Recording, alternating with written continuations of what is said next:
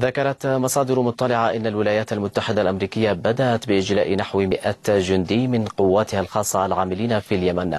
وأرجح المصدر نقلا عن السي إن إن الأمريكية إن إجلاء الجنود بسبب تردي الأوضاع الأمنية في اليمن وفرار المئات من معتقلي التنظيم القاعدة من السجون. مشيرة إلى أن هؤلاء الجنود يشكلون آخر دفعة للقوات الأمريكية جراء نشرها في اليمن في وقت سابق. غادروا قاعدة العند الجوية في محافظة لحج وتم نقلهم جوا إلى جيبوتي.